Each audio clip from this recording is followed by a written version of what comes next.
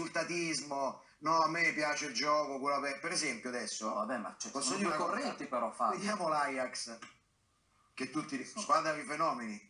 Vediamo l'Ajax con la Juve, sono curiosissimo di vederla. Magari gioca una grande partita l'Ajax, sono curiosissimo, perché proprio è, è questa divisione qua Ajax-Juventus. eh. I situazionisti, cioè quelli che dicono il grande gioco, l'Ajax, eh, E poi e la Juventus che è un'altra cosa, concretezza. Voglio vedere come va a finire. Poi magari oh, l'Ajax fino adesso è la grande sorpresa della Champions e sicuramente gioca benissimo, diverte. Il campionato non è in testa, però è in testa a testa.